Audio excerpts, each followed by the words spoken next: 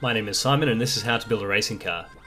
In the background of this video you will see some of the preparation that I've been doing between the last round and the one coming up in a week's time. In this video though I'd like to go over what is by far the most common question that I receive, which is will you release the design of this car? It's something that I've had in the back of my mind since fairly early in the project and I've never really felt like I had a good answer. There are a few problems I've had with the idea of selling the designs biggest being that I'd find it a shame to lock them away behind a charge that would make it inaccessible to others like myself who may not have a huge amount of money to throw at things like this. Another challenge I've had is that the drawings that I used to build the car wouldn't really be able to be used by someone else to build their own. I had the advantage of having the complete picture in my head of how everything went together, and of having the 3D model to refer to when I needed to.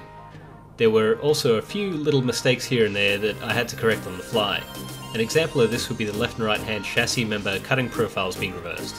So for me to release the design, I'd essentially have to redo the drawings for the entire car, with the knowledge that I now have having built it, in order to have them be of a standard that I'd be happy to release. This will be a long and slow process.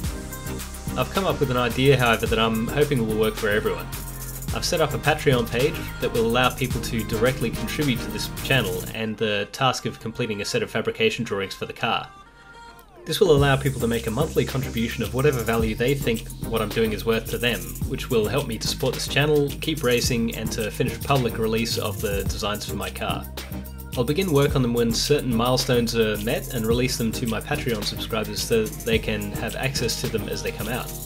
At some point down the road I'll release them publicly, most likely once all of the drawings are complete. Ultimately what I'm hoping is that this car will form a base for others to work from, while it's been designed for the Australian Formula Vee rules, someone from, say, the UK, India, America, or wherever might be able to make some small modifications to the design to make it legal there, and then release those drawings as well. It should open up the possibility for others to learn and improve on my design or to build their own car where right now it's not really an option for them because they don't have anything to work from. And for me, getting Patreons on board provides me with feedback that people actually want me to complete this project and allows them to contribute directly to the work. Even if you're not interested in the design, you might want to contribute anyway as some thanks for the work that I've put into these videos as well. It's really up to you.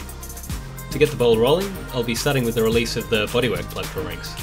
These would allow you to build the plug from which the bodywork molds would be made. I've set a milestone of 5 Patreons for this first set, and we'll add milestones as each are met. So if you want me to complete the entire design, share this with people you know who may be interested and they can join as well. Anyway, I'm hoping this is something that people can benefit from in the future. In the meantime, I've been working hard on preparing the car for the next round, which will be back at Wakefield Park at the start of April. What you've been watching is me removing the front H-beam, which was bent prior to its installation in the car. Another Formula Vee manufacturer, Jaser, helped me out there using their press and oxy torch to heat it and straighten the tubes, which should hopefully improve the front of the car a little bit. Also gave the car a good clean, painted some bits and pieces that had been bare metal and replaced the exhaust wrapping that I had destroyed in my off-track excursion last time we were at Wakefield. I also built a wheel alignment testing jig which simply holds two string lines parallel from the front of the car to the rear, which I can use to measure the car's wheel alignment.